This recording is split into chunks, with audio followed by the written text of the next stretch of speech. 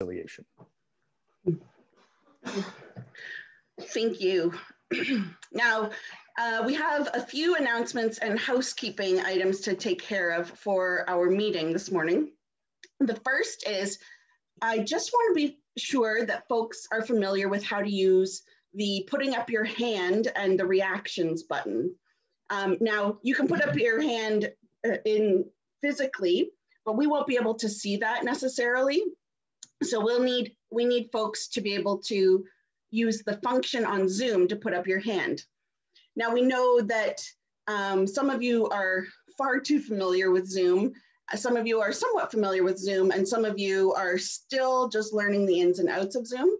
So I have a few slides depending on, oh, Wayne's iPad just raised hand.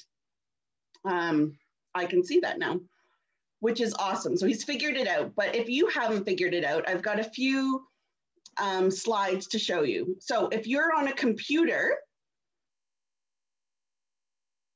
um, you should have at the very bottom something that's a dot, dot, dot. You see right here, I've got it circled in red. And if you click that, this comes up. And so there's the clapping, thumbs up, laughing, crying, surprised, heart, and celebration. And then there's raise hand. Raise hand is the one you want when um, um, when it comes time to do our voting.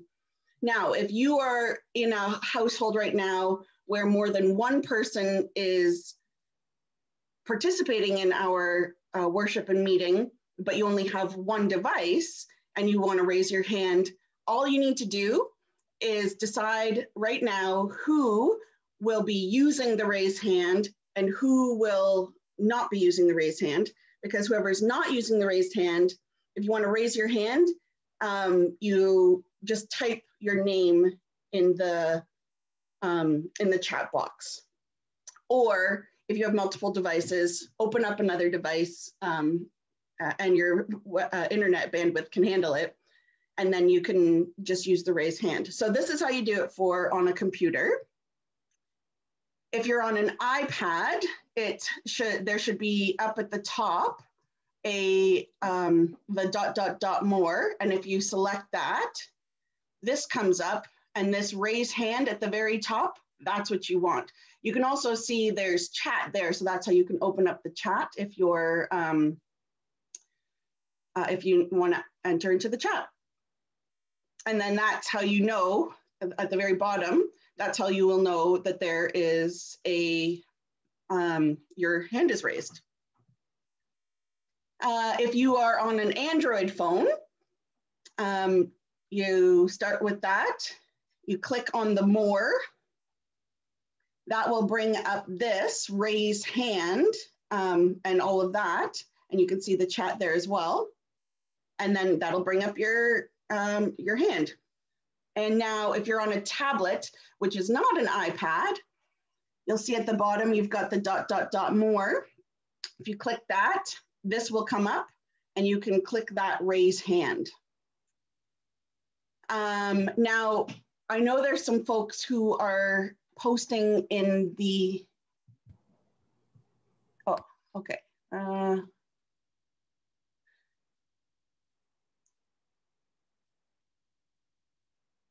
Okay.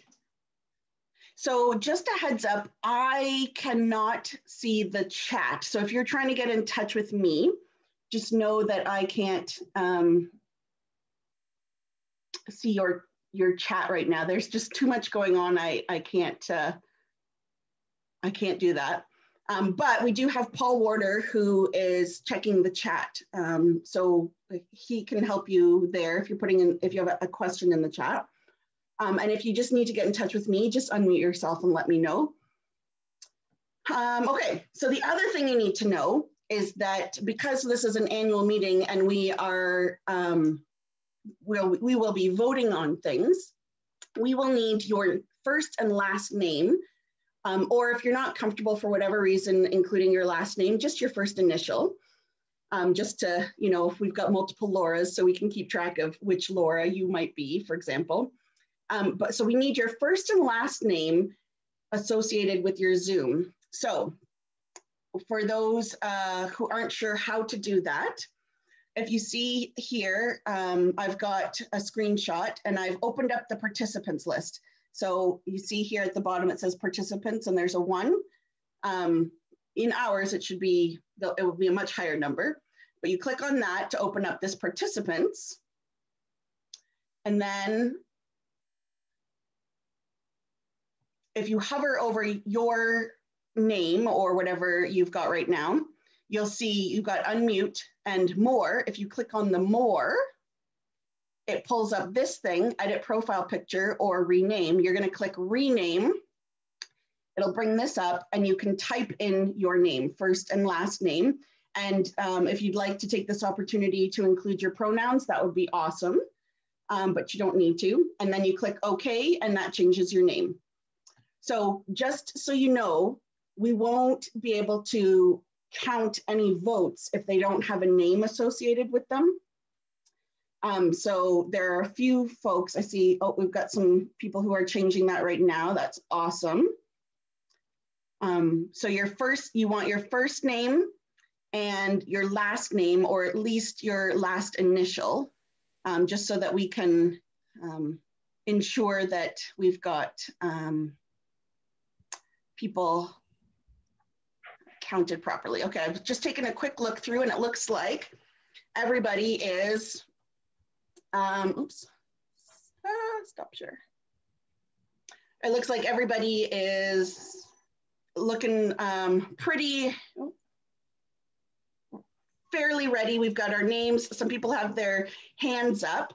So um, if you click on that hands up again, it will lower your hand because um, right now it also, since we're not voting on something, it looks like you're raising your hand to speak. David Cameron, are you trying to, to speak right now? If so, just unmute yourself and, uh, and speak. There we go. yes, I'm raising my hand to speak. Uh, for people who have the old version of uh, Zoom still, you find the raise hand under the participants list. You have to go into participants, go to the three dots beside your name, and then raise hand there. Thank you, David. That's really helpful. Um, uh, because that's uh, a whole other, I thought I covered it with four different devices, but I didn't cover it all. So thank you, David. That Zoom is constantly updating, which is great, but it means they're changing things. So it's sometimes hard to keep up with what's happening. So I have, so that we can practice the hand thing, so Diane Greenholtz, you've got your hand up. Do you want to speak or do you, are you just practicing? So David and Diane, if you could lower your, oh, I can lower your hand here. Okay. There you go. Let's see. Okay, so just a test trial here. Who, if raise your hand if you are looking forward to COVID being over.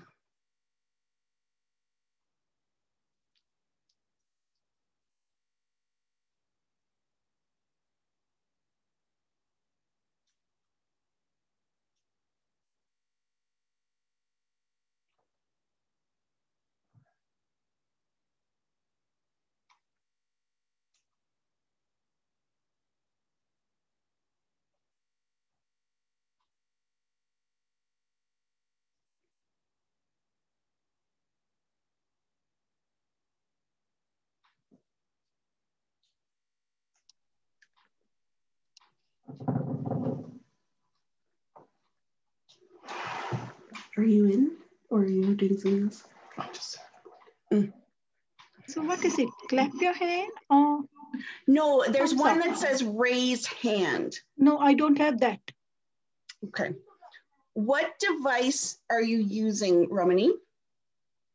Uh, uh,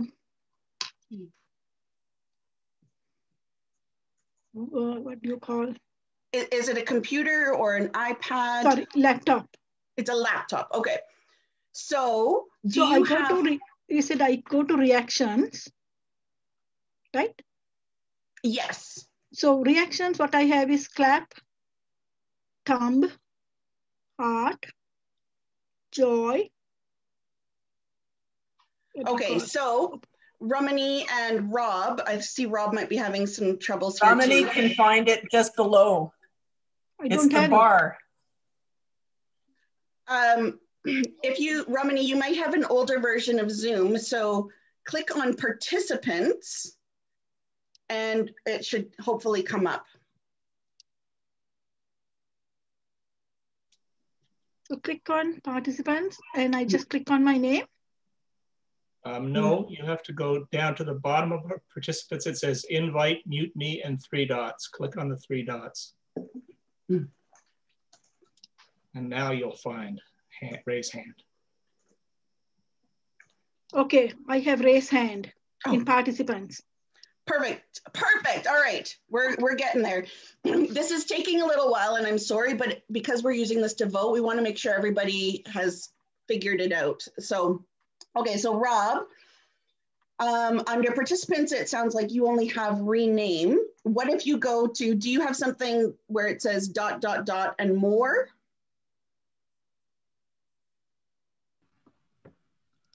I just have more.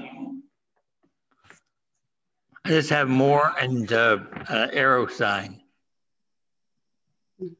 Um, and, and I think I have the same version as you, so I can see this. Uh, so if you click on more, it probably just says rename. Is Yeah, that correct? Okay, Yeah. so go right down to the bottom of that box and it will say invite, mutiny, and three dots. Do you see that? yeah. Click on the Oh, three raise dots. hand. Yeah. Okay. Yeah, I see it. Thanks. If you wanna vote, yeah. So, yeah. Okay. Um, we've got a few folks, the Husses, I see. Do you know how to raise your hands, Dennis and Elizabeth, are you, uh, on using Zoom? Well, I, She I- waved down a sign. I'm, I'm unmuted at the moment.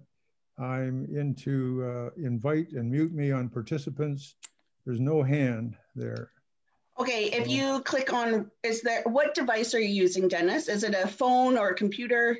I'm using an Air, Air, uh, an Apple uh, Mac. Okay. So is there a, a button that says reactions? um, Along, the along the bottom, Yeah, I have, I have mute, stop video, participants, chat, uh, share screen, um, record, Oh, record. and uh, see what else is on the bottom.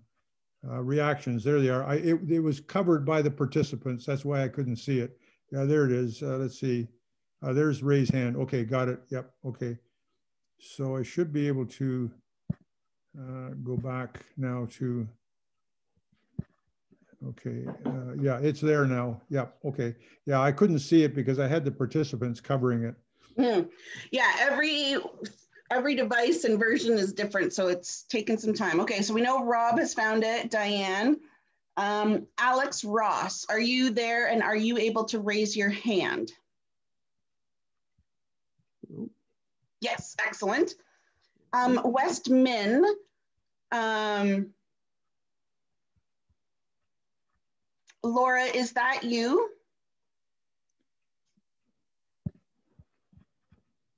It is not me. Okay. Um, Westmin, the person whose uh, thing says Westmin, are you able to put your name in there so we know who you are?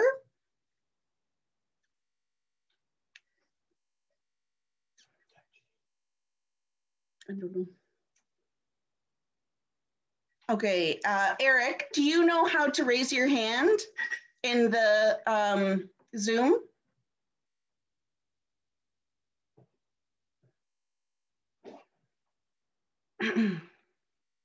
Okay, uh, the Florazone family, do you know how to raise your hand? And Bonnie and Steve?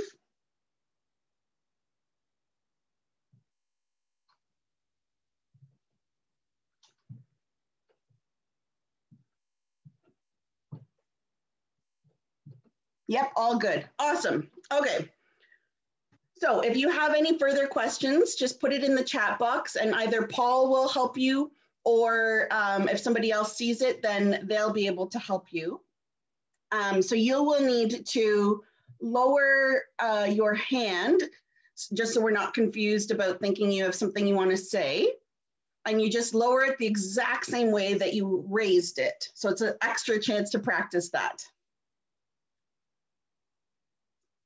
Okay, now,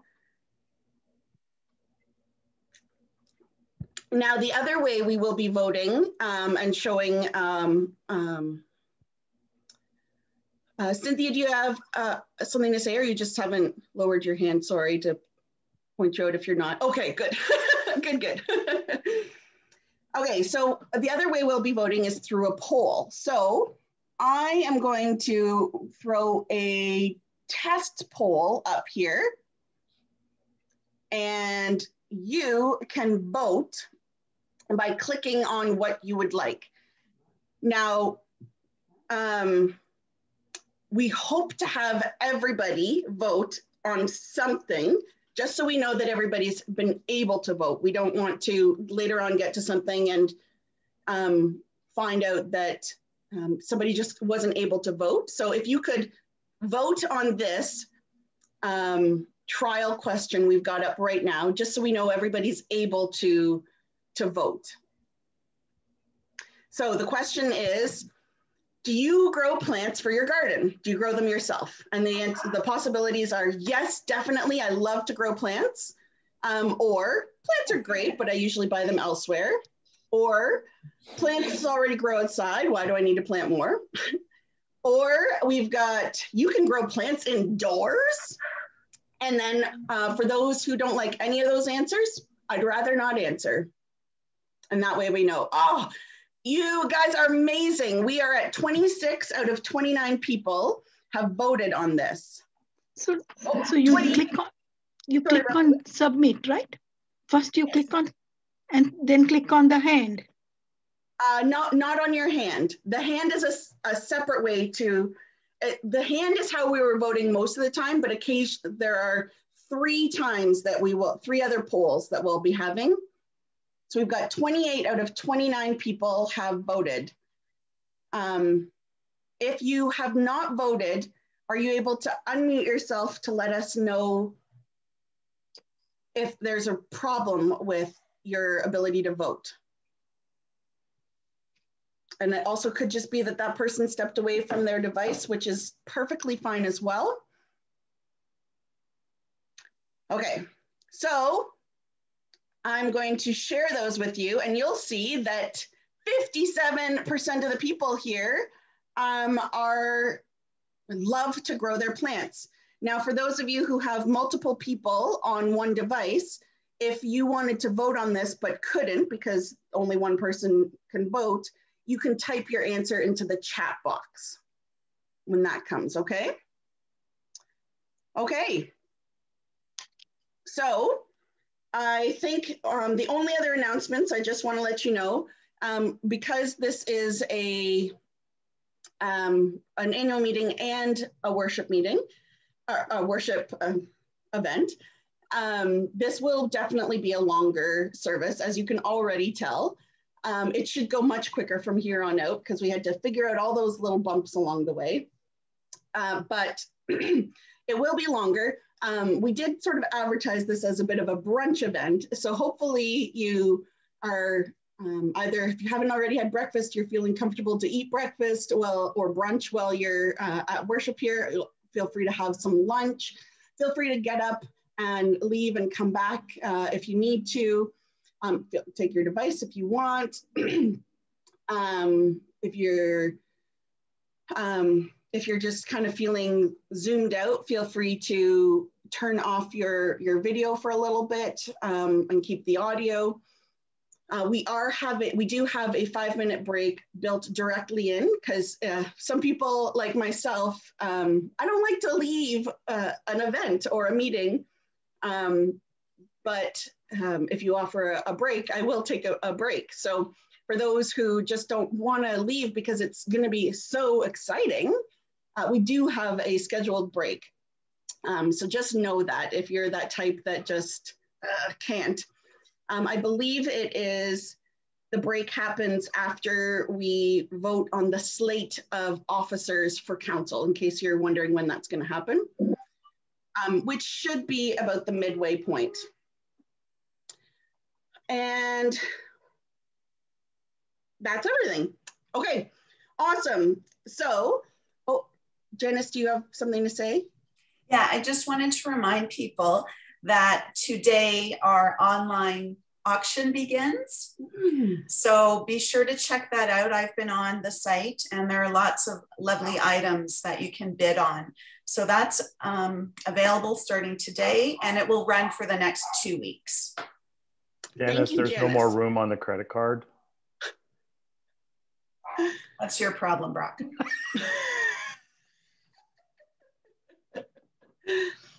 Um, do we need to put Janice and Brock in a breakout room to work that out? Let me know. We can do that. yes. Okay.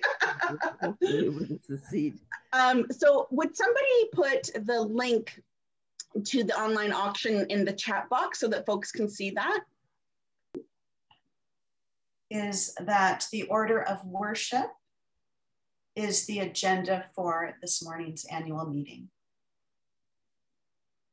Again, if I can have someone to move that. I will. Thanks, Alex. And someone to second that.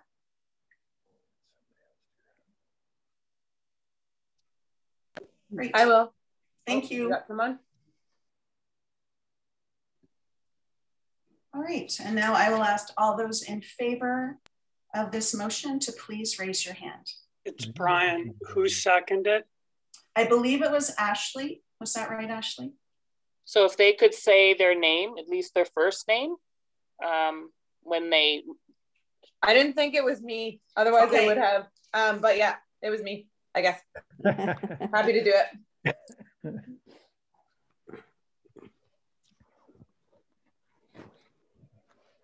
Excuse me. If you haven't voted, if you could please do that now, if you approve. Motion carried.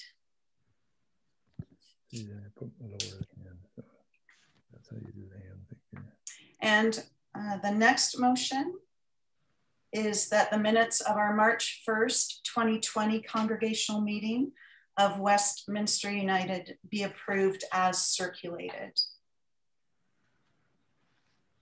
So move, Donna Harvey. Thanks, Donna. And a seconder? I will. Thanks, Alex.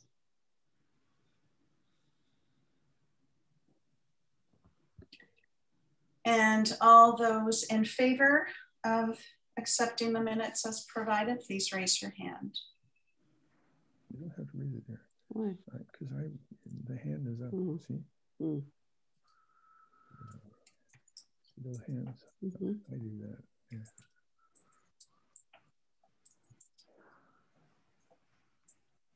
and carried. Okay, thanks, friends.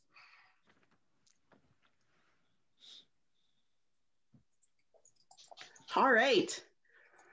All right, if everyone could lower their hands now, just uh, otherwise we'll think that you're wanting to speak. Um, and um, we are going to move into our first breakout room. Um, I know not everybody is comfortable with breakout rooms, so if you're not comfortable, just don't accept when it uh, asks. Um, but or you can accept and then just mute it and uh, for now. We are going to be in this room for about um, um, for about four minutes. Um, and I'm putting in the chat right now so that you can access it um, when the time comes. So for those who joined us in our, um, our field trip to the hub, we uh, asked you to consider a couple of things. The one, what was most surprising to you? And two, what would you love to see more of? Now we had um, at least 10 of us uh, go on that field trip, which was awesome. And so for those of you who weren't able to join that field trip, um, if you weren't able to join that field trip, then um, I'm sure that you have had experiences in your life of worship other than Westminster, or even um, thinking about Westminster. So for those who weren't um, able to be at the field trip, um, when answering those same questions, what was most surprising and what would you love to see more of? Consider other option opportunities you've had to um, experience worship in other ways. Welcome back, everybody. Um, got almost everyone back. Excellent. Awesome. We didn't lose anyone on the way. Fantastic. So we're just going to take like two minutes. And if you either want to unmute yourself to share or just include it in the chat, everything in our chat box uh, will be saved as well so that we can keep some of your answers um, that council can look at as well. So anyone want to share anything that was surprising um, and or that you would like to share uh, to see more of um, either at Westminster or in the world? Sue, go for it, Sue. What? I, I, was asking Sue, our chair, our chair. Sue is our chair. She's not gonna say anything. Where'd she go? oh. So I'll speak. Go ahead, dear. More love and compassion. Mm-hmm. Mm-hmm. Mm-hmm. We we also just quickly talked about presentation style, Andrea. We we talked about uh, you know maybe maybe looking at big screen because we're getting used to that kind of you know uh, utilization uh, even even a bit more, and uh, maybe uh, you know kind of an entertainment. Uh, you know, and I say entertainment, but I mean you know the music side that we, we kind of enhance, uh, you know, the scenario there, you know, maybe work with Cynthia and Steve and so on, but just kind of work with enhancing that in some manner. Anyway, that's our story. We'll, we'll be quiet now. Thanks. Any other surprises or things you'd love to see more of?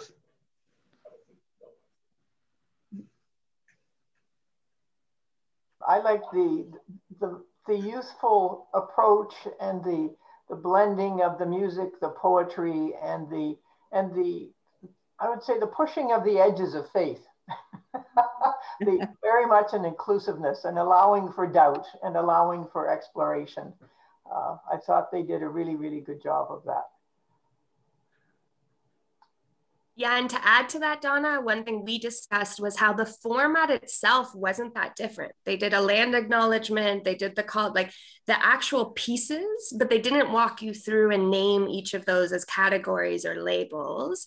And then the way that they engaged the youth and the others to participate in those was just slightly different. So, for instance, the way they use chat is very conversational throughout, and you're kind of adding your thoughts as you go, and you're so you're taking in the content and then sharing that back out to see if that informs somebody else's and so on. And so, and they have lots of music and the same types of things we include it just slightly slightly different um, in some way.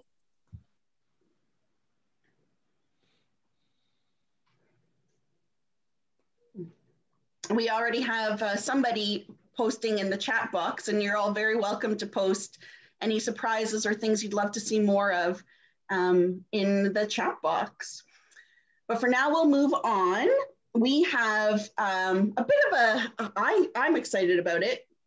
Um, it's a little bit longer of a video, um, which says a lot. This is a video that a number of council members uh, participated in, sharing some highlights of things that have happened um, at Westminster over the last years in 2020. We there's a lot that has happened in our world that is not a highlight, um, is a very opposite of a highlight.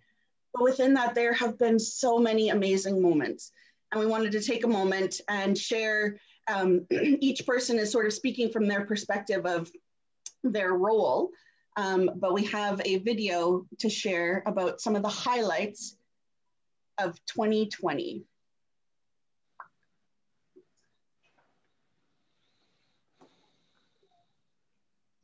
As chair of council, the highlight for me this past year was working with such a dedicated caring group of council members. There were many situations that we needed to discuss and navigate through many of which we are still discussing and navigating. And this group of people consistently showed up and always had the best interest of the Westminster congregation at heart. As we move forward, I am confident that Council will continue to share the energy, insight, and commitment that I have so appreciated this past year. A highlight for 2020 is everybody's generosity to Oxford House Mission Service and our own church.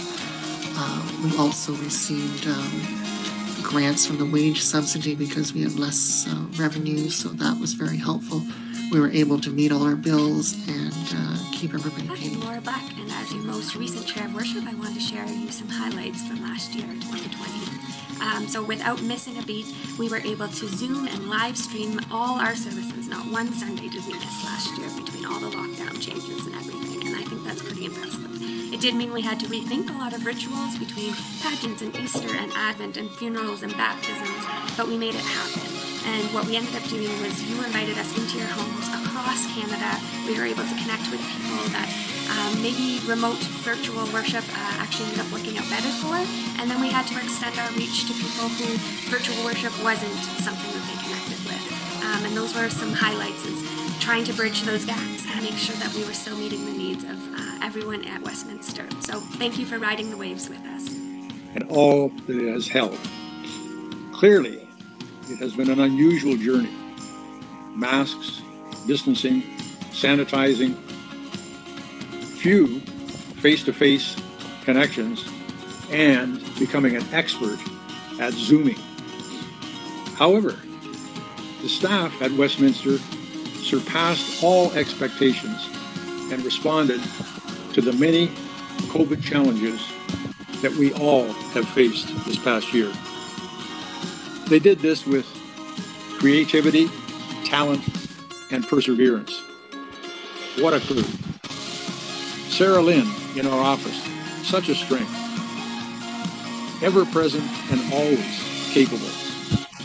Cynthia, so creative and talented, giving us the joy of beautiful music on an ongoing basis. And then Steve Boothby, ever willing and ready to bring voice to our hymns and the special anthems that we all so enjoy.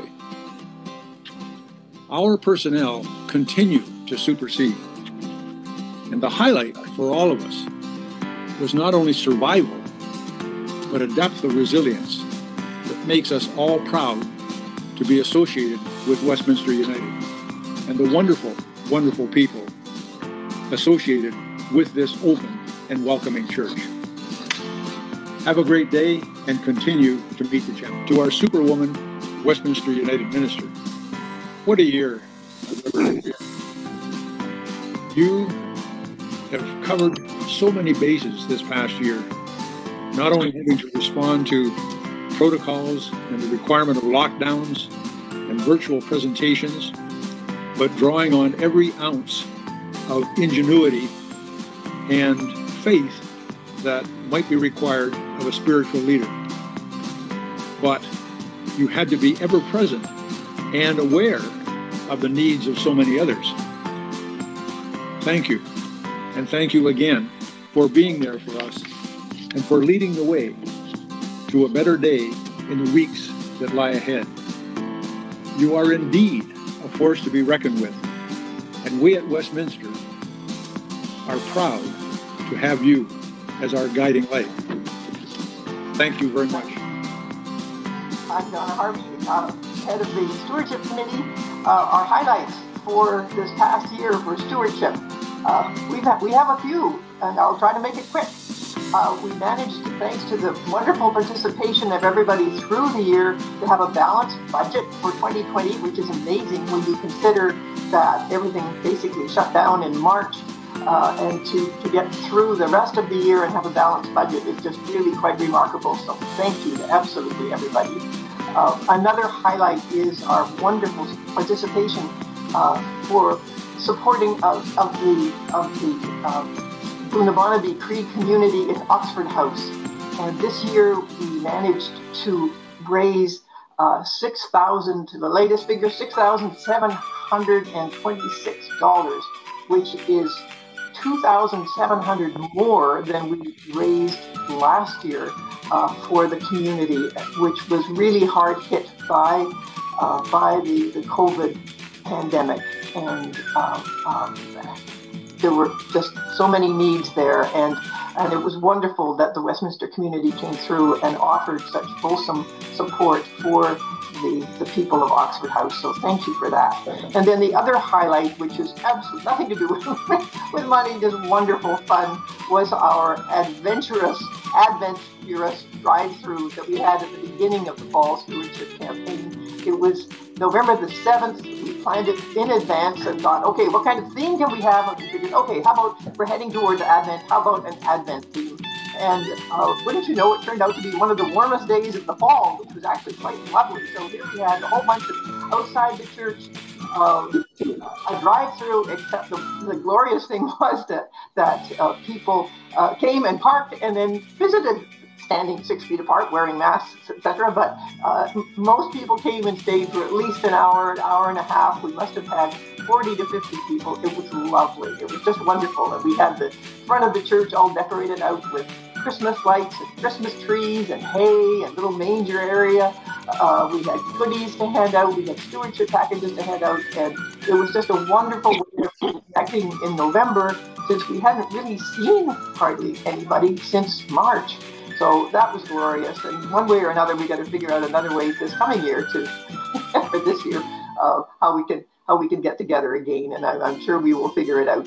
So uh, thank you all, and it's been a wonderful year. Thank you for your wonderful, fulsome um, involvement with Westminster in so many different ways. Thanks so much. I would like to talk a bit about uh, the uh, CMC, which I uh, look after every year. The story this year uh, for the CMC was COVID 19. The Joint Committee had to narrate uh, first the lockdown, then the restart. The restart morphed into a rollout of improved internet access to support the streaming by each congregation. It's not uh, done quite yet, but after this is over, the capabilities of each congregation will be so much better. Other highlights were repairing the eaves trough and fixing the outside lighting of the cedars, if you could call that a highlight. I'm looking forward to no more crises and inspiring, uh, improving the look and feel of the grounds and building with uh, new shrubs or trees, new paint, etc. And I'm hoping to uh, see everybody on the other side of this COVID 19 thing next year. Laura Black, and I've been your team lead for the Equity and Inclusion team. And our highlights for 2020 is starting.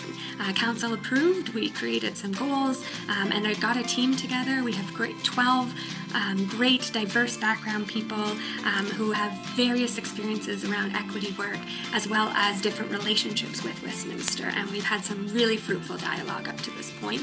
Um, and what we're doing is responding to calls of action and no more silence around inequitable systemic conditions that the church is part of. And so acknowledging that and doing some unlearning around that, and then reviewing some global diversity inclusion benchmark checklists um, around things like our mission, vision, and values at the church. Um, or leadership at the church and really assessing where are we at and where could we be going. Um, and we're just starting that work, uh, but it's great work and I'm glad to have you with me.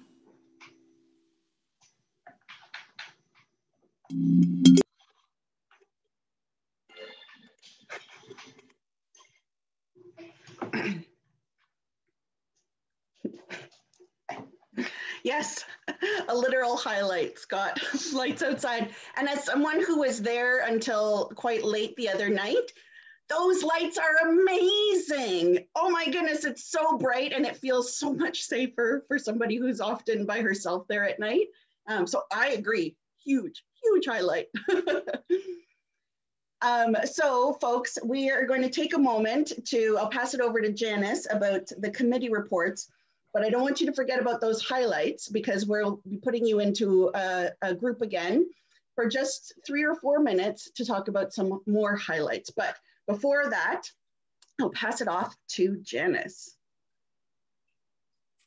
Thanks, Andrea. So our next motion is to accept our committee reports as submitted. And before I do um, the vote on that, I would just like to take a moment to thank a few people. And first off is Karen Seeley, who is stepping down as our chair of the social committee. Uh, thank you to Karen for her years of dedication and leadership in that role. Also, I want to thank our interim chairs, uh, Laura Black and Sue Ann Campbell, who both stepped in uh, for a shorter period of time to help us out. And that was also greatly appreciated. And I'll be talking a little, little bit more about vacancies coming up in the next motion, but um, an interim position is something we really encourage too. Don't feel you need to be committed to the whole year if it's an interest to you and you want to do it for a shorter amount of time. Please know that that's also available. All right, so now we're looking at the motion to accept committee reports as presented. So if I could have a mover on that motion, please. Just unmute yourself if you're able. I'll move. Thanks, Rob. Yeah. And a seconder. I'll Diane, second. I see you've got a hand up. Oh, go ahead. Go ahead, Donna. All right. Thanks, Dennis. Um, so that was Rob and then Diane. And then I think um, what I'm going to do this time is switch it around a little bit um, just to help us move through it. And that is, I'm going to ask for votes against. So those that are opposed to uh, raise your hand now. So if you're not opposed, just hang on.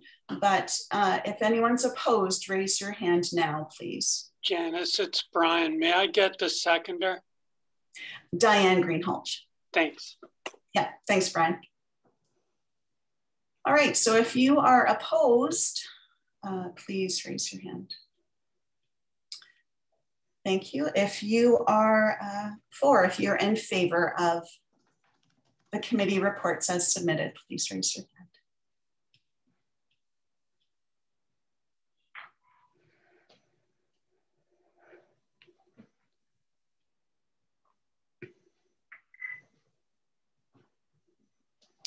You haven't raised your hand, if you could please do that if you're in favor.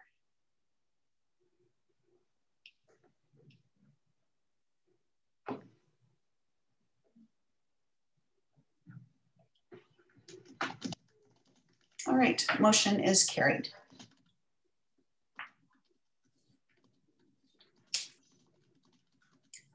Andrea, I'll turn it back to you.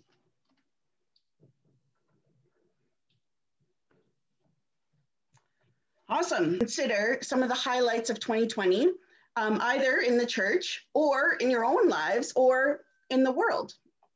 Yeah. Sorry uh, for those of you who are in the middle of sentences. I, am glad that uh, Zoom gives you at least the countdown so you know it's coming, um, but sorry. Yeah. No, that worked fine. Well, friends, um, again, we'll just take two minutes. And if anyone wants to share either by just speaking out or including in the chat some of the highlights that have stood out for you. I've got to go for lunch. Okay, Rob. Bye, Rob. You can join us when you're done. Yeah. Right. yeah. Yeah, Rob. That's a highlight for Rob. yeah. yeah one of our highlights was how fast we were able to like get up and do Zoom services so that we didn't miss any worship. And you know, it's nice being able to see everybody. Mm-hmm. Mm-hmm. I was happy to see that the I was happy to see that the homeless were being vaccinated mm-hmm. because I was saying they, they have no way to trace their identification, medical history, anything like that, or their age even, you know? So to, to move them up in line and start to help them, which helps us. Yeah, highlight has definitely been uh, care of the vulnerable this year. Yeah, that's the way.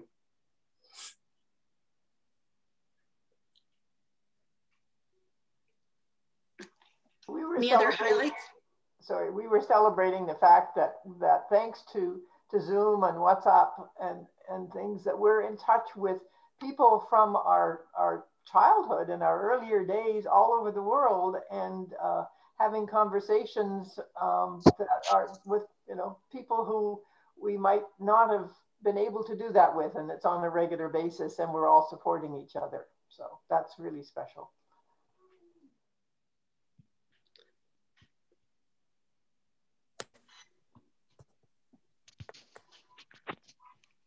in our annual report, there are quite a lot of highlights um, in the church. I hope you had the chance to read it before today, and if not, um, it's still really relevant. Um, I think uh, it will be really exciting to read there. As we see one right now standing up, there were, I think, five babies in our congregation born. Um, lovely. We had a wedding. Um, we had a couple baptisms, really exciting. Yeah, she's great. Mm-hmm. Great. All right, so um, I encourage you to continue uh, including any highlights in our chat and I'll throw it back to Janice for the next part. Thanks, Andrea. Our next uh, motion is going to be to approve our slate of council members for 2021. And uh, before I ask for a mover and seconder, um, I just kind of wanted to highlight those that are vacant at this time. Uh, so our nominating chair, Christian development, worship, membership and care, social, and we need uh, another regional rep. And also new to the slate is an equity and inclusion chair, which is exciting. So just to highlight those. So if I could ask for a, a mover on the motion to accept the council membership slate for 2021. I will. Thanks, Alex. And a seconder? Okay. I will. Thanks. Thanks. I, I think that was Ashley. And if not, we've got Elizabeth in there too, Brian.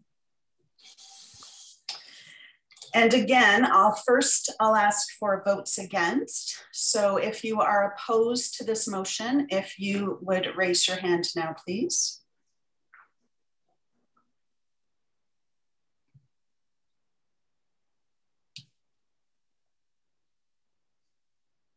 Andrea, I'm not able to see the voting at this point. Can you um, just let me know what you're seeing? Um, no oh, hands have been raised. Okay, thanks. And then all those in favor of accepting the 2021 slate? Can you see those now, Janice? Yes, thank you.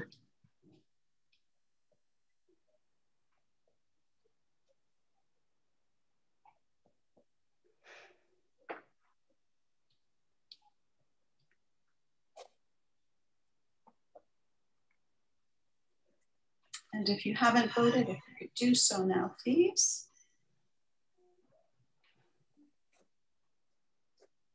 All right, motion carried. Okay, so friends, we um, we come back. We have talked about a little bit about um, what has happened in 2020, um, which is more than we could probably spend five days talking about that's happened. So just some highlights. Um, and now we're kind of moving toward looking toward the future. Um, we, you know, by the United Church, well, all church standards, we've had a fantastic year. Um, we haven't lost anyone to COVID. We have unfortunately lost a, a number of, of people um, who've died, but, and we, um, we hold them in our hearts and we hold the heartache that we couldn't really join to say goodbye to those people the way we'd like to, but um, we also know how fortunate we are uh, to have a balanced budget, um, to be able to continue to meet, to have so much support and love, um, not only for the Westminster community, for um, the congregations of other faiths that are a part of us, but also for the whole world, um, which we show every day, um, and especially through those things we've already highlighted. So now I'd like to share a brief video about some of the hopes that um, your council members had going forward. and then we're going to put you into breakout rooms and I'll randomize them again so that you get a chance to try and talk to different people. And I'll, I think I'll make, try and make the groups a little bigger so that we don't have uh, too many, like just two people in them. Um, but in this, so just so you're aware, when we um, go into the next group, you're gonna be talking about, um, this is something that the elementary school teacher shared with us, Janice. We're going to talk about two stars and a wish. So, two stars are two things that excite you in 2021, and a wish is perhaps a concern or something that's weighing on you for 2021. So, just so you're aware, that will be coming up. But before we get there, I would love to share with you this video.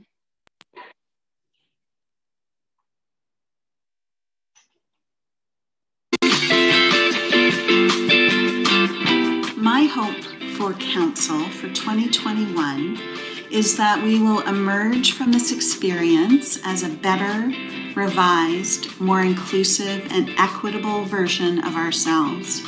My hope is that we will continue to do the work required to achieve this. The inclusion team has had three sessions so far, and we've discussed themes around power and anti oppression work, reciprocal relationships from a traditional Indigenous knowledge perspective, disability in church, and our hopes for moving forward in 2021 is that we can dig into even more around sexuality and faith, anti racism and religion, treaty as sacred covenant, um, supporting housing stability, um, and really looking at strategies at this point. So we've done our three checklists, we've benchmarked ourselves in those areas. Now, what can we do about it?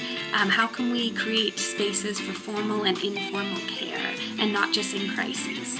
And how can we be accountable and design in accessibility into our worship and the way that we lead and our leadership opportunities? And how can we weave in the whole community? So, all of you too. So, it's not just the team doing this work and really make it um, as fulfilling as, as the potential has. Um, so, we uh, invite you into this process as we revision what it looks like to be equitable at Westminster. My hopes for 2021. It would feel good to listen to Cynthia play the piano and hear the choir sing in the sanctuary. But we've learned so much about using technology to keep members connected in new ways that I hope we continue to evolve in this direction. Now, if we could only figure out how to actually eat together, that would be good. Another hope is that we have learned from events both locally, nationally, globally this year maybe be able to reflect and I hope act together to move forward for ourselves and for others. Initiatives at Westminster are doing just that. My hopes for 2021 are that we continue to listen to each other and build on our positive faith community. My hopes for 2021 um, continue generosity to support everything, hoping for more government grants, and hoping for some fundraising ideas during the year. Hello. My hope for Westminster in 2021 is that we find a renewed sense of purpose. To quote a Saturday Night Live skit, we need more cowbell. Definitely more cowbell. So, worship in 2020 had quite a steep uh, learning curve when it came to technology. So, now that that's out of the way and we can focus a little bit more on alternative ways to engage in worship. And we're going to take and incorporate your feedback from a recent survey on ways that we can be doing social justice um, with our church, as well as ways that we can enhance um, and engage with you in worship and outside of worship. Um, and take those ideas like Easter pageants, teach what you love lessons, equity conversations, food truck dialogues, um, brunch Sundays, and virtual field trips, and more variety in music and really play, um, which I think will be a lot of fun uh, for Reverend Andrea and the team. Um, so we will also be considering returning to in person worship, hopefully, um, maybe in the fall. Who knows? We're going to follow public health guidelines um, and also keep live streaming services when we do return to in person for those that um, this met a need for. So, lots of things to look forward to in 2021.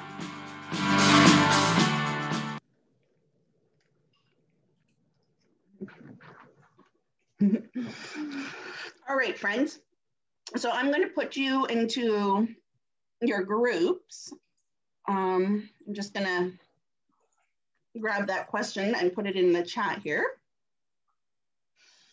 so when we come back, we're not gonna have a time where we discuss what you've talked about, um, but you'll be encouraged to include your stars and your wishes in the chats after.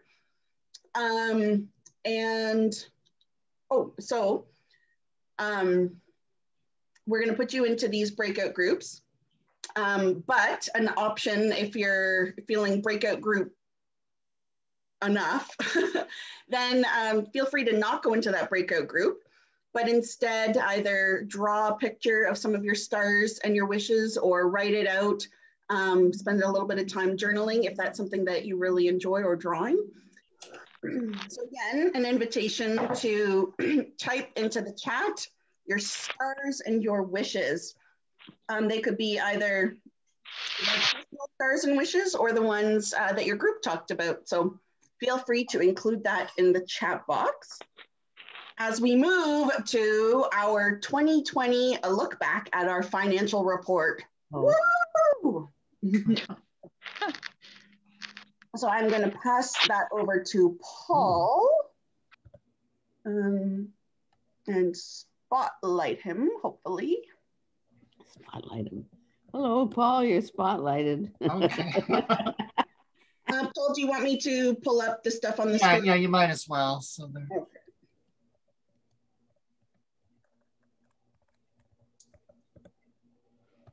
So when we met last year, we had um, we had passed a budget that had this twelve thousand dollar um, deficit, and we ended up much better than that through a lot of unusual circumstances. So, uh, anyway, um, so so here's a little summary here. Oh, this is the expenses. Can you go back one slide? There. So we had um, a, a, lot more um, money come in this year than last year, um, which was wonderful. And a lot of that came from the stewardship campaign. Uh, a lot of memorial donations this year, particularly from Lynn McCauley um, and also Ron Franco. Um, a lot less fundraising because we weren't able to um, do a lot of things we normally do. So all we got done was the uh, Robbie Burns dinner and the pancake supper. And, um, and we weren't able to do our big uh, garage sale or Elmira Maple Syrup Festival or any of our other dinners. Um, interest is just down a little bit, um, a little less tax rebates because we spent less money. And one thing that we got this year, uh, the government introduced this um, wage subsidy, so encouraging people to keep uh, businesses to keep people on payroll. And so they looked at your revenue from last year and compared it to this year. And if it dropped below a certain level, they would give you um, some money to contribute to payroll.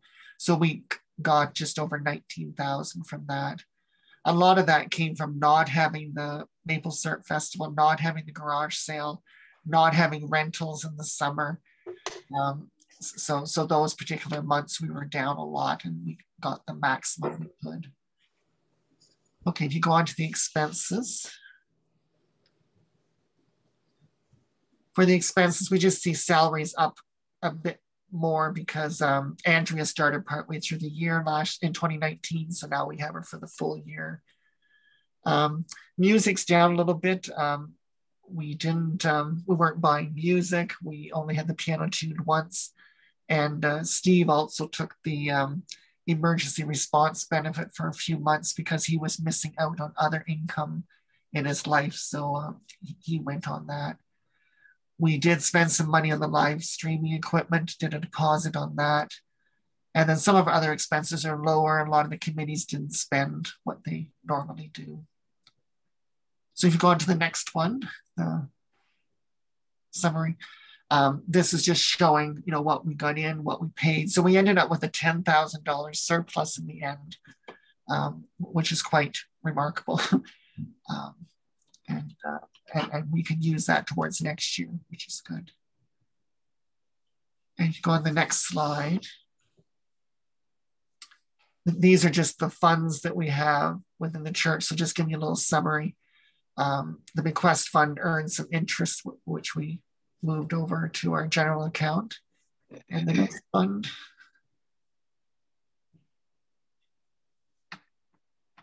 Can you just move to the next one, Andrea? Sorry. The caring and sharing fund, we had um, a donation to that, and we did spend a bit of money on that. And then the sanctuary fund,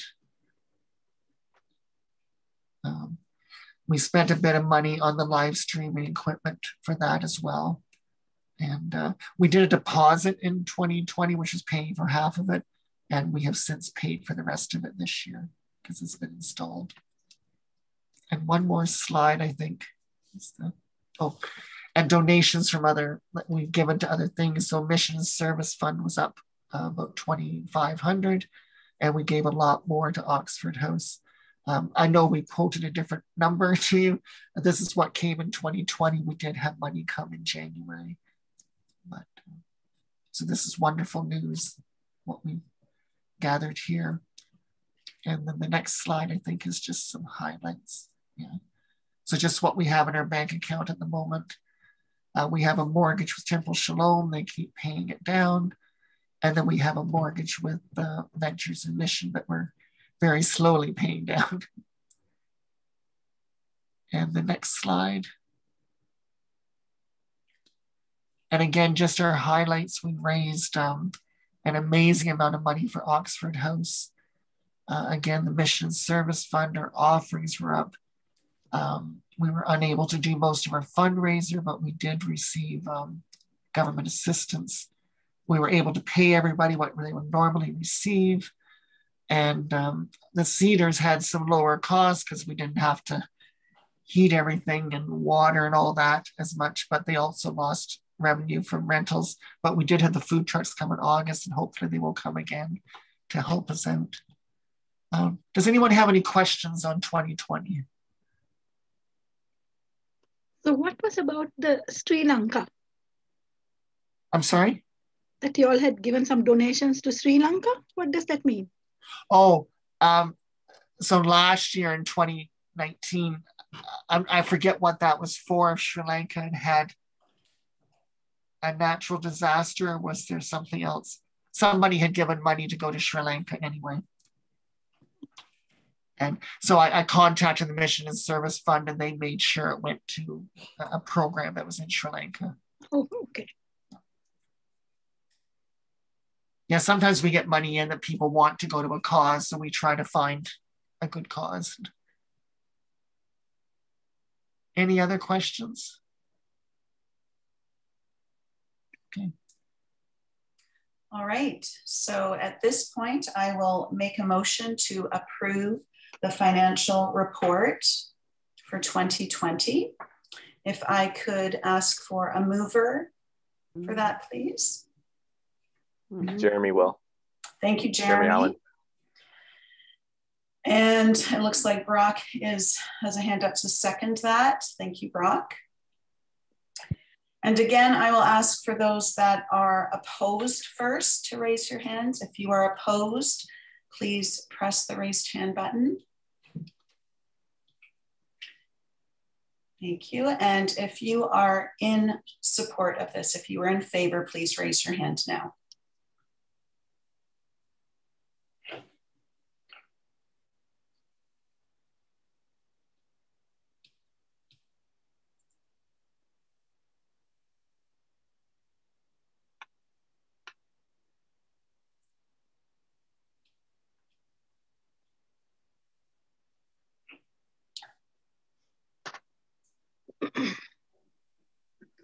Right, motion is carried.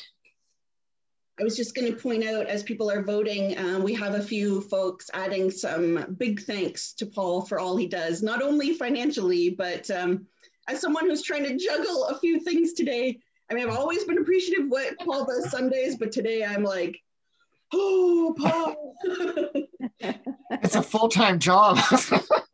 Andrea, I, I would I would uh, beyond second that. Uh, Paul and I work, of course, on the ministry and uh, personnel committee as well, and his input is un, so valuable. It's just, uh, you know, so thank you, Paul. Thanks very much personally. Thank you. You're welcome. Okay. Um, so now we'll move on to the budget.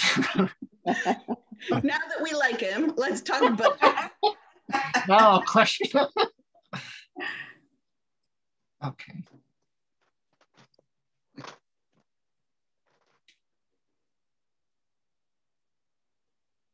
Okay, so we have um, some um, guidelines we do in setting the budget. And, and one thing we want to do is keep our um, general fund at at least $5,000 to help cover unexpected things. Uh, we are assuming the offerings will grow according to um, the stewardship campaign, and that has been consistent in the past. We've always been very, very close to the campaign. We are proposing to increase salaries by 2.2% for all staff. The United Church of Canada is raising all salaries that amount, and we've applied it across um, everyone. Um, and then we will make whatever mortgage payments we can um, to keep our budget balanced. Okay. So um, during the stewardship campaign, a lot of you did increase your offerings. However, uh, we are going to lose um, some of the money we were getting from Manulife that we're matching some uh, donations from their employees uh, as they discontinued that program. We've also had a couple of people die that we're um, providing as well. So we're seeing offerings go down almost 10,000 there. Um, I don't have anything for memorial donations. Hopefully we don't have that.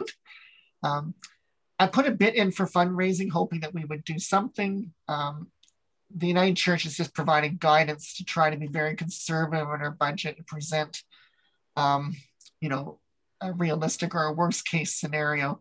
We are doing our online auction, which will hopefully bring this in. And hopefully, come the end of the year, we'll be able to do a few more things. Um, interest is way down. I had a bunch of things invested at 3%, and that is unheard of now. They've all matured. And most things I'm getting 1% or less. So we're going to see interest drop a lot. And then tax rebates about the same. And I put a bit in for the wage subsidy. Back when I did the budget, the government was planning to wind this down very quickly. They have since um, changed their mind on that. We've already received 2,000 from the first two months. So I expect we will get a considerable amount of money again from that program. Uh, they'll continue it until uh, right now, I think it goes to June, but until they open these up, it'll be, um, uh, we should continue getting some. And then on to the expenses. Um, again, the salaries is um, going up the 2.2%. Um, Cedars is keeping pretty much the same on the cost for running the building. Uh, the music's going up the 2.2% and we'll pay Steve for the whole year. Um, and then I, I put in another, uh, uh, assuming our committees would spend the amount of money we expected last year. Um, that may or may not happen, but just trying to be conservative there. Um, and you can see at the very bottom there, this means we're projecting a deficit of 35,000, um, which is significant. However, I do think that is the absolute worst case scenario. I, do anticipate it being better than that. Um, if you go on to the next slide. Uh, mission and service fund, just from the stewardship campaign, we see it going up, and I just put an amount in for Oxford House, but um, just as a placeholder to keep track of it. And is there another slide? Yeah. So this just shows a bit um, the bank account um, going down to this 5,000 amount that we want. Um, keeping, uh, we're going to spend money out of the sanctuary improvement fund to finish paying for the um, live streaming equipment. And that's already been paid for, so we're done. And it came in a little less than expected, so that was wonderful.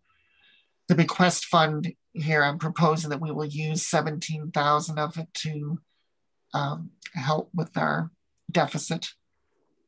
And then the temple mortgage keeps going down and the veteran mission mortgage goes down a little bit. And, um, okay, do you have any questions on the budget?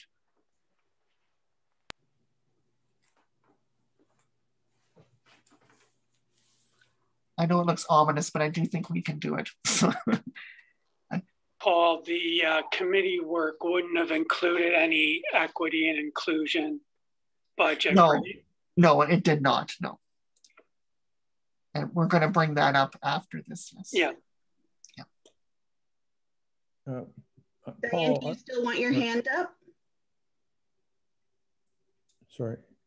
Um, I, I'm, I'm off mute. You're muted, Diane Greenhalgh Wasding. Sorry. I said, no, that was my question that uh, Brian just expressed. And Dennis, did you have a question? Well, Paul, I just thought I would uh, maybe, um, I don't know, raise the question that that do you feel that that we're, you know, because of what it looks like for 2021, that we're in any need to to have any kind of uh, um, What, fundraiser? discussion? Well, fundraising, yes, but discussion around any adjustments. I'm going to use that word uh, in in any manner. I, I'm just I just wanted to kind of see if if you felt that that council maybe you know might need to have some discussion going forward. Certainly going for, I mean, I would hope a year from now we can return to our fundraising activities and that. Um, it's certainly something I think council should talk about as the year goes on, as we see where we're heading in that. Um, it's hard right now. There's a lot of unknowns, and it's hard to do anything else. Um, we we've had a couple of large surpluses which we're going to use up this year, um, but um, certainly this what's happening this year cannot go forward. But I, am hopeful that a year from now we'll be having some fundraising opportu- opportunities, and um, and other things may come from other things we're doing as well Sure, to bring in money. Yeah, I just thought I'd, as they say, raise the issue in the sense that that you know it's always an ongoing concern for every organization that you know on the expense side, uh, you know it's always good to be able to to offer kind of what we've been doing in the past and even doing more. But then there's always the question of often having to look at what our expenses are and what we might have to do if we Oh, had to. Yeah, and we could certainly do that. Yes. Anyway, thank you, Paul. And Sue-Ann, do you have a question? Yeah, Paul, could you speak a little bit to the wage subsidy? So last year we got about nineteen thousand dollars, right? And I know you put conservative estimate in. So, you know, are we looking at something similar likely? I mean, I don't know if you know how it's going to roll out or have they cut that down? I mean, just to get a, you know, maybe a less scary number out of this. Um, I would think we'll probably get a half of that amount anyway if it goes to June, because our biggest fundraisers are in the first part of the year. So I, I do think, I think we'll get eight or nine thousand now looking at the program. Great, thank you.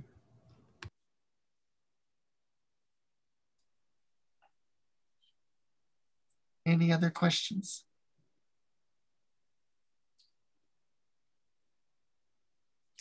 All right, so I will make the motion. I, I can do it. I, I, sorry, I, sorry, I, I'm happy to move it, uh, Dennis, uh, Dennis. uh, Thanks, Dennis. And someone to second as well, please. I will. Thanks, Alex. All right, I'll, again, I'll ask, oh, sorry. Um, Ashley, was that a question or just you were gonna second?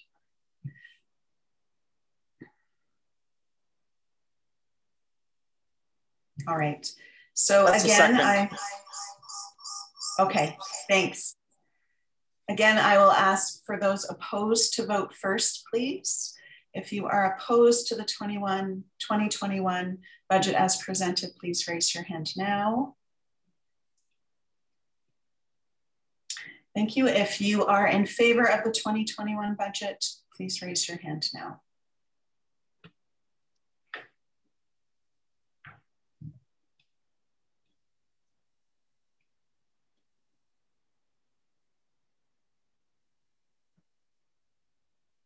Motion is carried.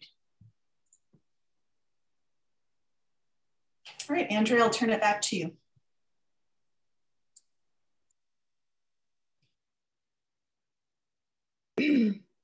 and we'll actually turn it over to our musicians who've been standing by. Um, we're gonna have another hymn. We'll sing verses one and two of Voices United 299, Teach Me God to Wonder. Um, and if you have your hand up because you want to speak, just unmute yourself to speak. Otherwise, we'll we'll put your hands down if you if you don't. We've lost one singer, so everyone sing loud, okay? Awesome. Thank you so much.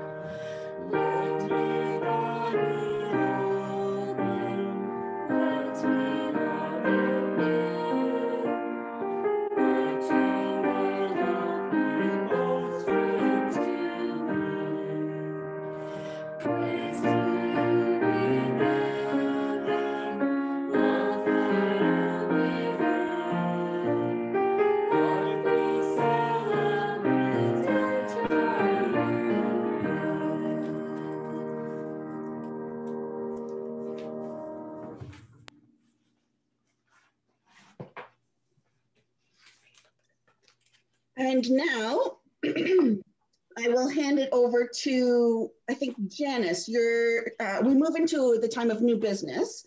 And so Janice, I'll pass it on to you. Do you want me to put the slides up? Sure, that would be great. Thanks, Andrea.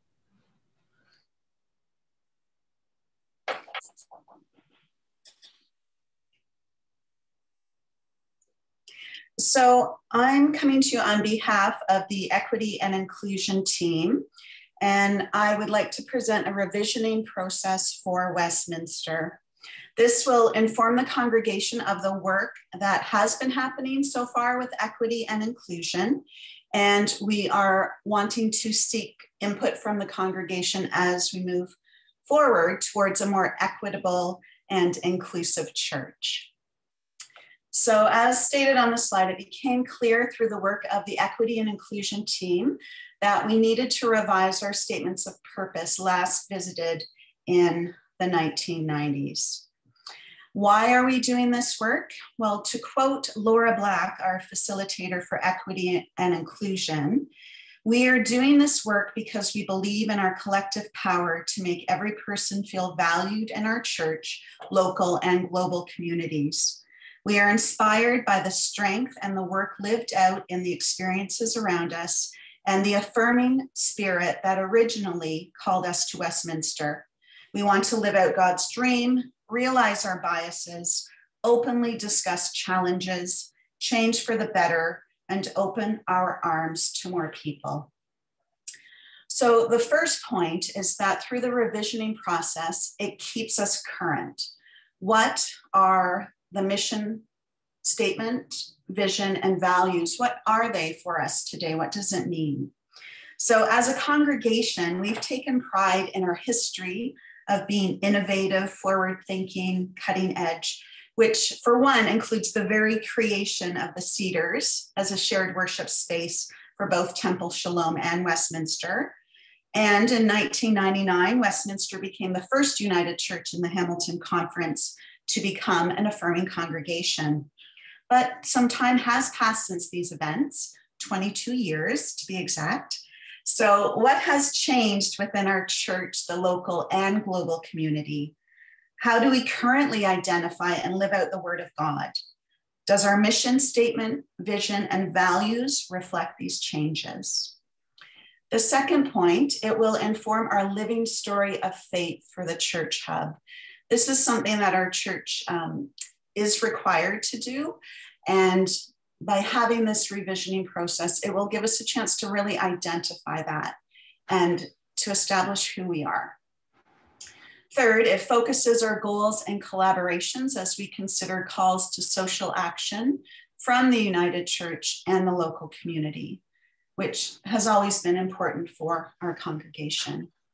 And fourthly, it weaves in the whole congregation for equity and inclusion work.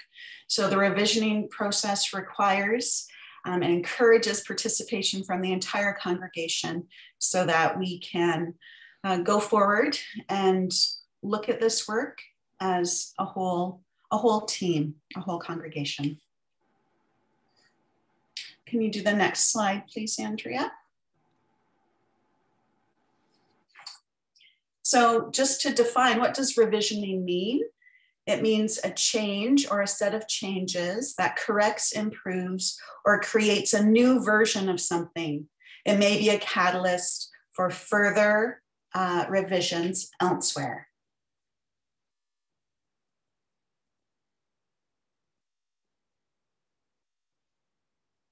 And the next slide, please.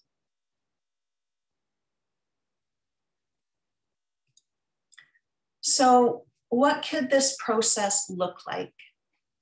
Currently, uh, the team has been seeking uh, three proposals in draft form from Edge, Credence and Company, and the Common Cause Consulting for comparison.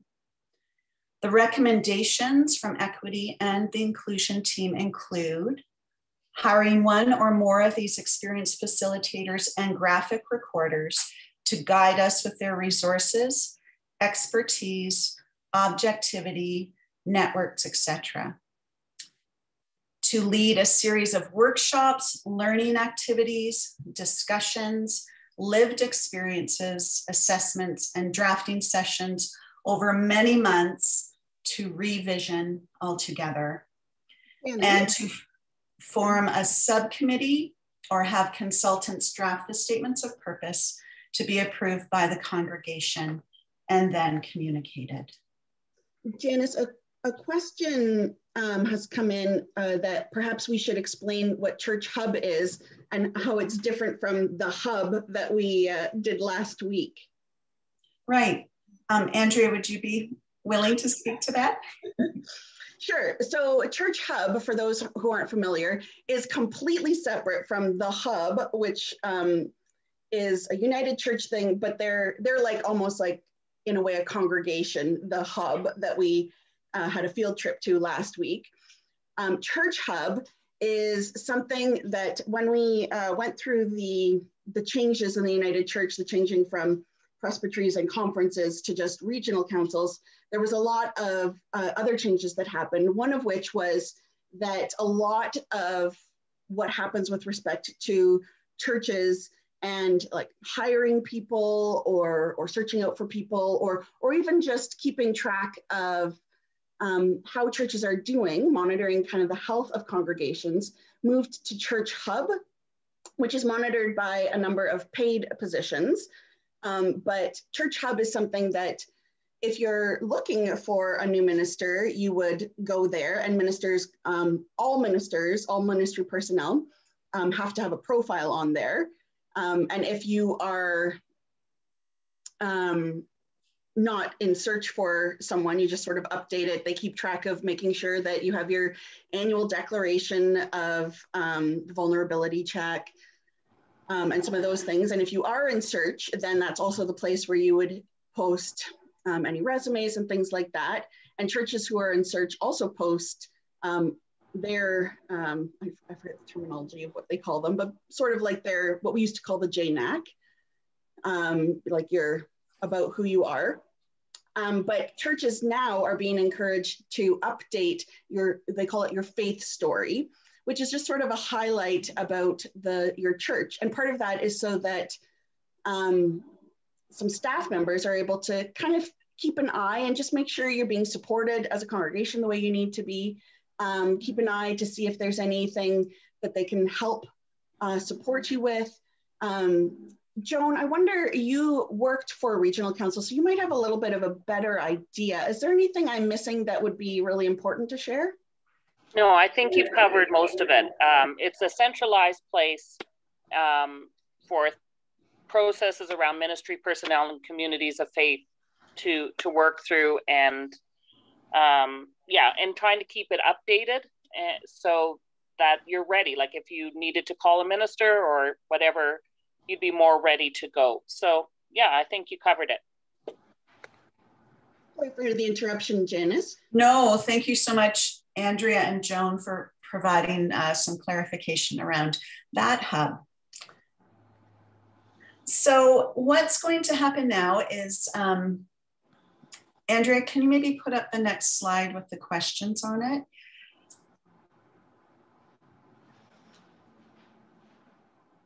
Oh. Um, so yes, that's good. So sorry, you can go back to that one. Yeah. So obviously this is an investment. The current estimated cost is around $7,000 for consultants and honorariums. Grant funding is likely available or there could be possible use of our bequest fund.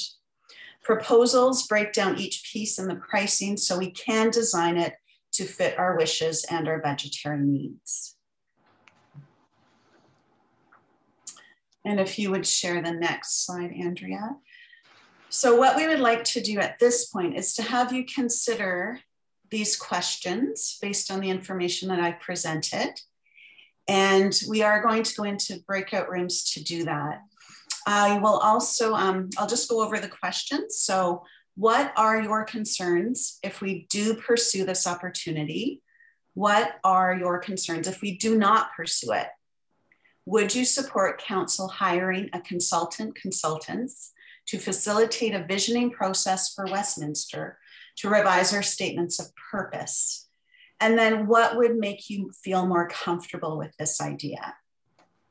So once we um, go into breakout rooms and come back out, we will be doing um, a polling vote just to get a sense of where you are with that. And also, if you have um, concerns that you want to share, I'll ask you to send those to Brian Black. You can do that um, directly to Brian uh, through the chat. You can email him as well. So if we can take this time to go into breakout rooms and just and uh, share what we're thinking. And Andrea has just posted in the chat those questions for your reference again. Just reminding everyone in the chat that yeah. please share your thoughts with Brian via his email or directly to him in the chat. Andrea, does it look like we have everybody back? Yes. Okay. So, sorry, go ahead. Yeah, I was just going to say our next step is that Andrea is going to put up a poll. Are you able to show that now, Andrea? Yep. All right, so um, our question is, would you support council hiring a consultant, consultants to facilitate a visioning process for Westminster to revise our statements of purpose? The choices are yes, I am definitely in favor of this idea. I like this idea, or I have no opinion, I'm not sure about this idea. No, I am not in favor of this idea. So if you could please take a moment and respond to the poll, that would be appreciated. Could I just interject here for a moment? Because not every group may, excuse me, may have had uh, a discussion that, that we were looking at at the bequest fund. This is a one-time thing uh, that that I think some people are looking at as a way of building for the future. So it's it it wouldn't necessarily be out of the immediate operating costs. It it could be so, some funding that could be taken from the bequest fund. Because I know a number of people are very concerned about our deficit, legitimately so.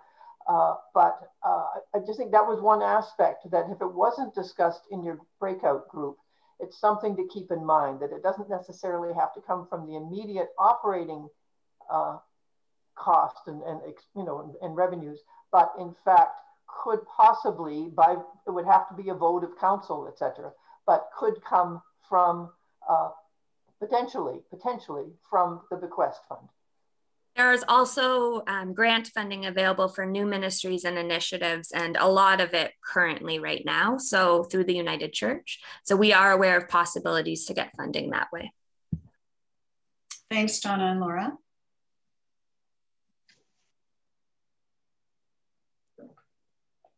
So if you haven't had a chance to answer the polling vote, if you could please do that.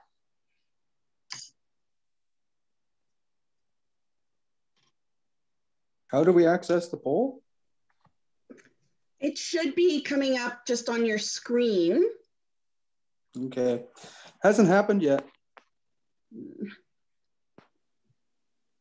I don't know else? how to relaunch it for you mm without closing it for everyone. Um, perhaps. Uh, oh, got it. Oh, you got it? it? Yeah, there was a poll in progress. Uh, up on up in the top corner. I tapped it and thank you. If for whatever reason you're not able to access it, just send what your response would be to either Brian, myself, or Joan. Um, not Joan, sorry. I mean, if you want, but uh, to Janice. Um, although right now we've got 20 of 21 people have voted. So I'm gonna give, oh, um, Okay, the one person who hasn't has just sent me a message. So that they are definitely in favor. So I'll share those results with you.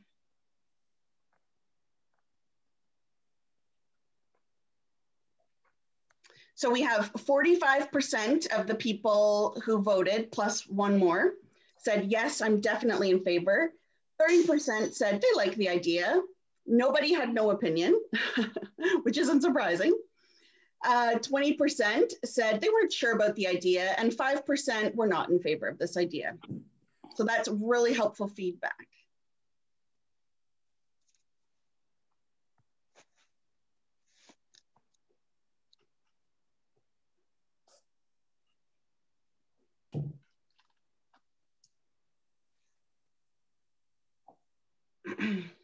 So at this point, um, we're going to move on to the next item of new business, and that is an internship uh, presentation by Laura Black.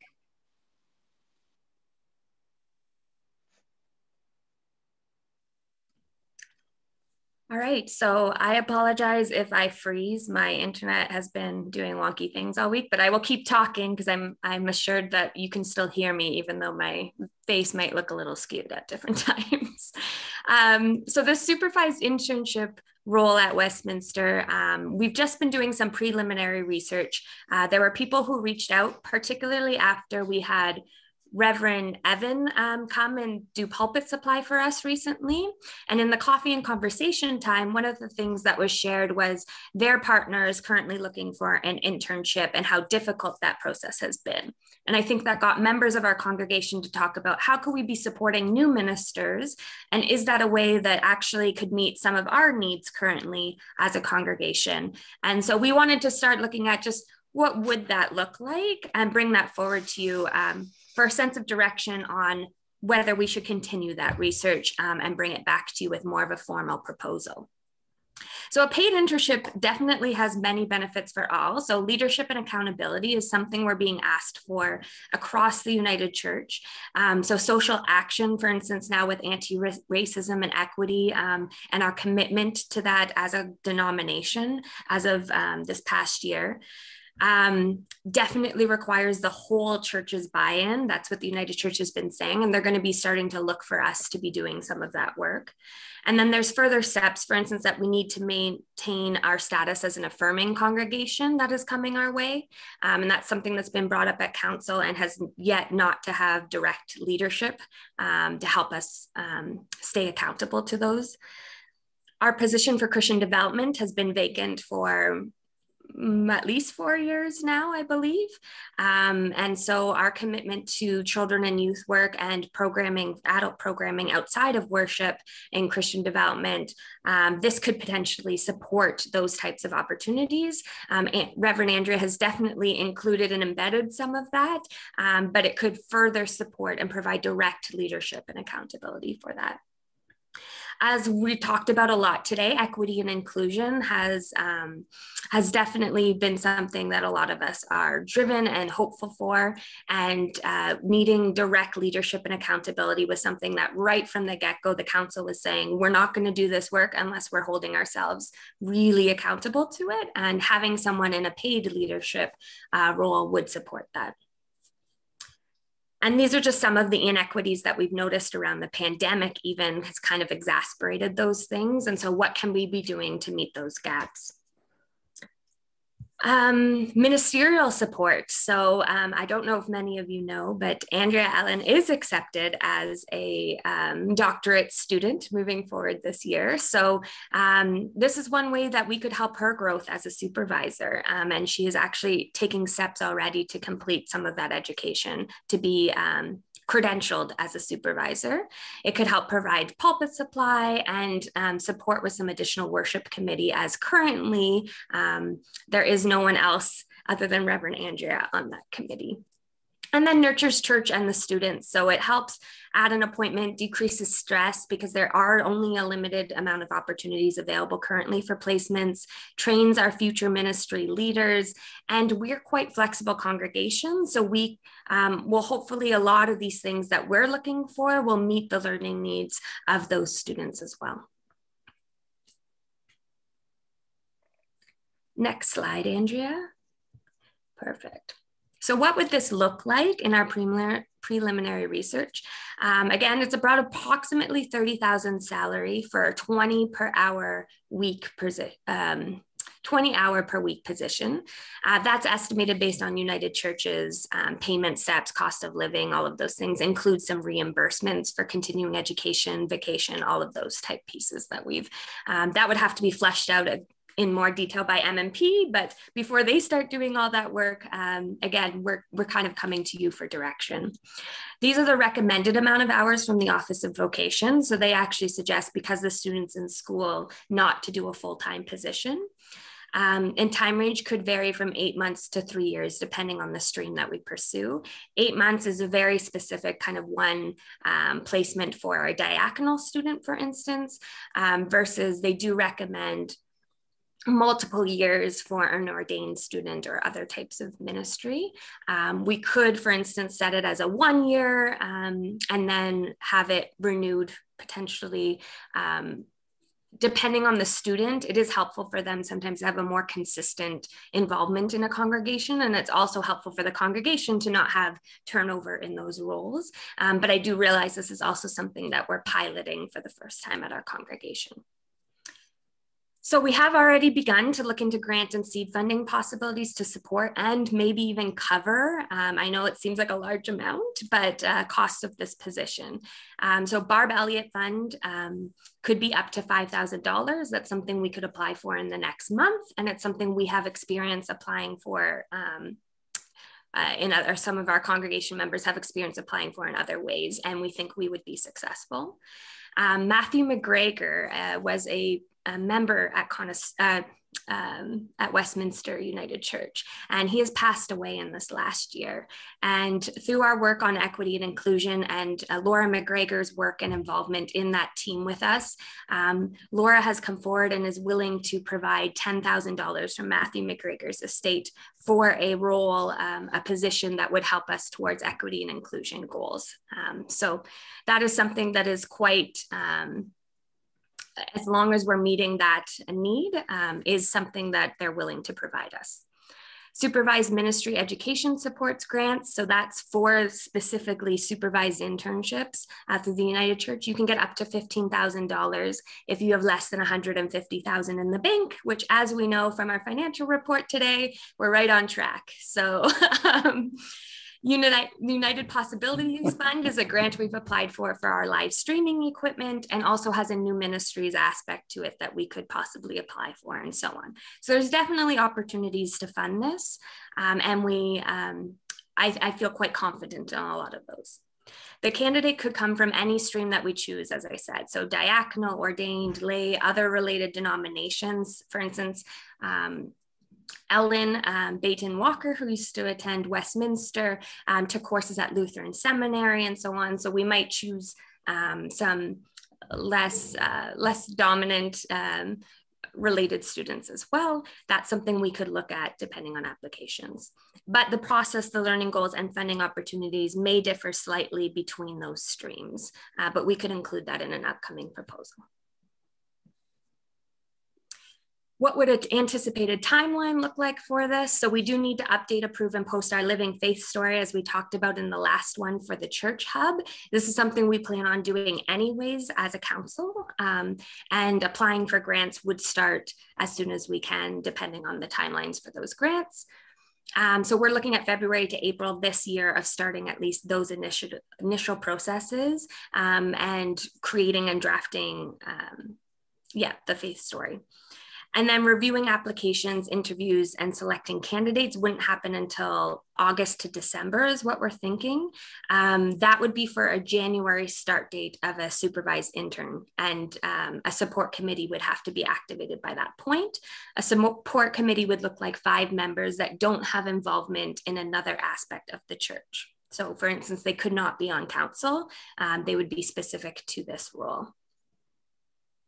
Um, and the reason we think January start date is it puts us in a new financial year. It allows us enough time to do a lot of these steps. Um, and uh, and figure out you know with pandemic times and all of that allow some of that to settle on us to figure out um, returning to church uh, in person and so on uh, in the meantime. What that does mean though is most placements do start in september so we would have less options of people in a january start date potentially. But it also means people who start in jan who require an internship in January usually don't have the same amount of options as the people in September because most people have tried to attempt to get someone for September.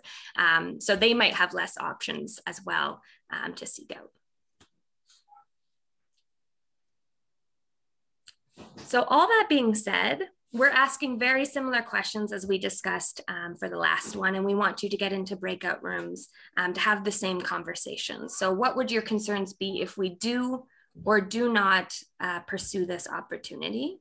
And then we'll be coming back and polling you on the question Would you support council exploring the idea of a paid intern for Westminster with the understanding that we will come back to the congregation later with a formal proposal to be voted on?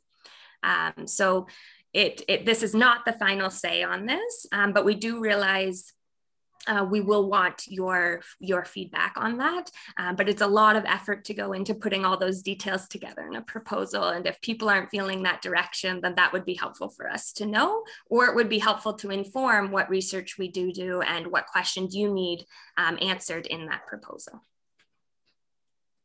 so you're going to get into breakout rooms. Andrea will apply uh, that. Um, and what we're asking you to discuss is, does it align with Westminster's ministry? Does it meet our needs currently? And then what concerns do you have if we do and do not pursue it? We're ready uh, for the poll.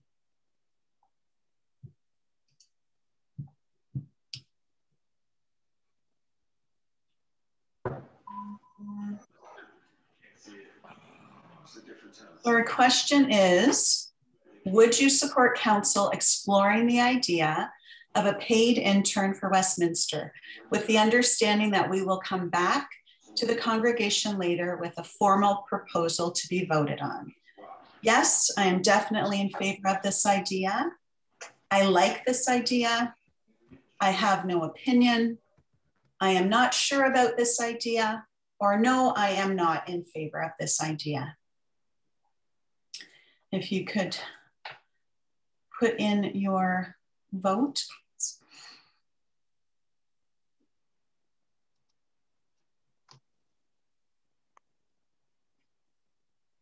Everyone's voted. Well done.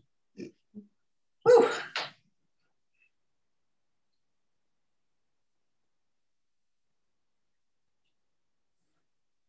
So our polling results are showing 74% are definitely in favor of this idea, 21 like the idea, and 5% uh, not sure about this idea. So thank you for doing that. That certainly helps to inform the direction of the possibility of a paid internship. At this time, I would like to ask if there is any other new business that anyone would like to bring forward. You can either just unmute or raise your hand.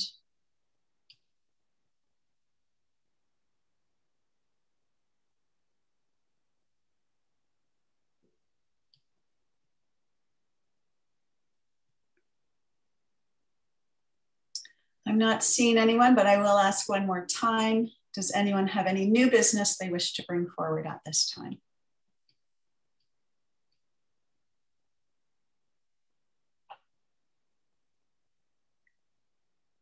Okay, it looks like no new business. So Andrea, back to you. Great, friends. We have made it through the vast majority of the business of our meeting. We only have one more motion left uh, which will be the motion to adjourn. We'll get there very soon. Um, before we get there, I just want to confirm, Brock, are you still with us?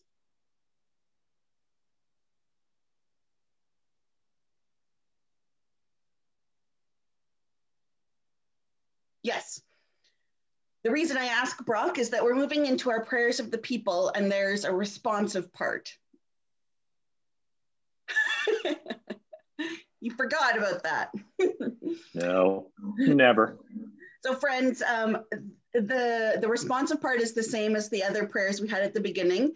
We decided to incorporate a little bit of movement in our prayers uh, because we knew there'd be a bit of sitting. Didn't anticipate quite this long of sitting, but it's all been great stuff. Um, but here's another opportunity to pray with your soul, with your spirit, with your body as well. So I'll share that.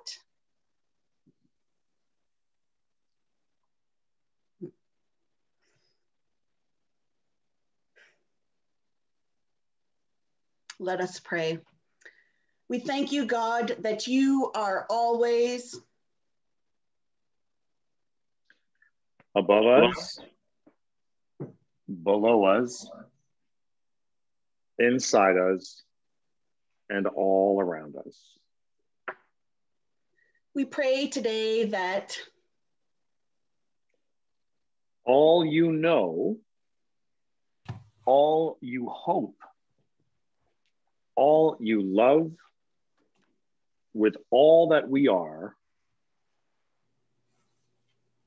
God, you who have called us to be the church in this virtual space today, in which we have worshiped, we have shared, we have discussed, we have considered, we have prayed, we have sung, and we have listened for your challenge. We have talked and shared and made decisions, and now our time comes to a close. As we go back into the world.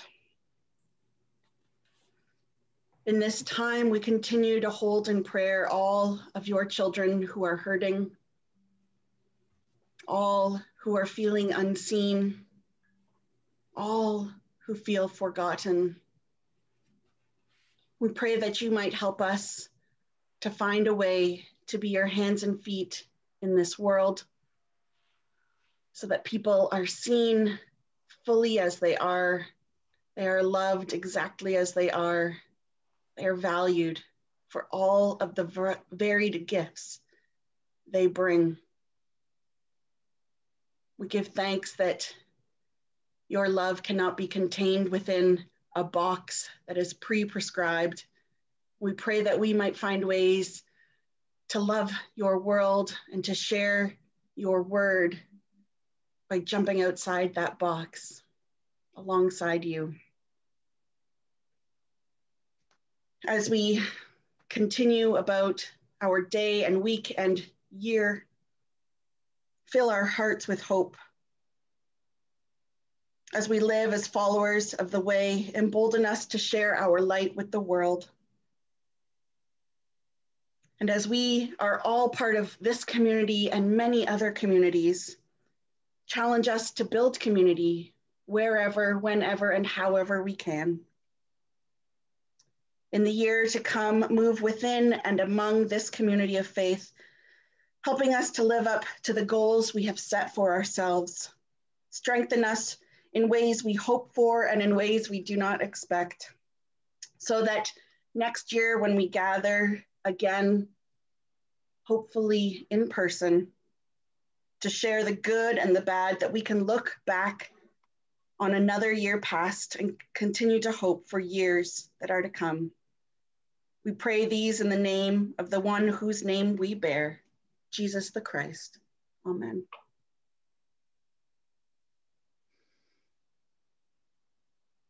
And that now brings us to the final motion, and that is the motion to adjourn. Would someone please move this motion? Sure. Please move this. Wow, so many. Let's say Donna and then Diane Greenhalgh as a seconder. Uh, and I guess at this point, I ask if we're all in favor of adjourning this meeting. Please raise your hand if you are.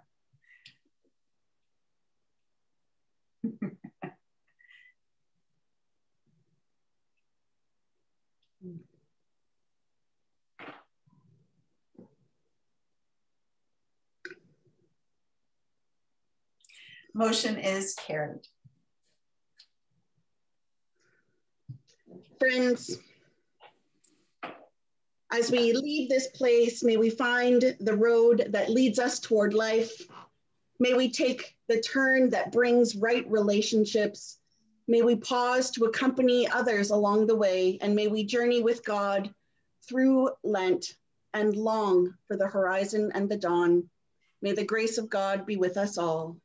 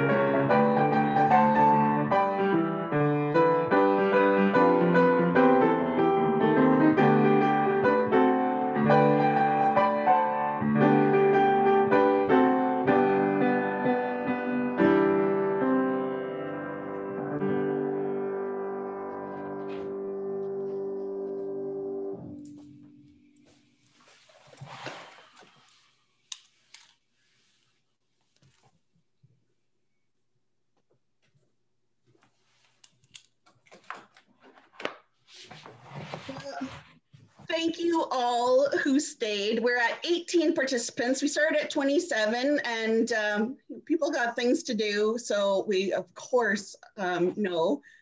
But we're so thankful for you diehards that stuck it through. So thankful. And there's more than 18 of you, but 18 devices. Now, can someone come over and help me get out of this chair? Janice, uh, Janice, thanks for. It's you know, been so long. Have a nice week, everyone. Bye, Have a nice week. Bye-bye. Have a nice week. Thank you, Janice and uh, Cynthia and Andrea and Paul and everybody else who was involved and Laura, everybody else who was enjo- involved in putting this all together. I know it's a lot of work and uh, and you can be proud of the fact that it went off very well. Did. Thank you. Thank you, everyone. Thank you. I think we may have even had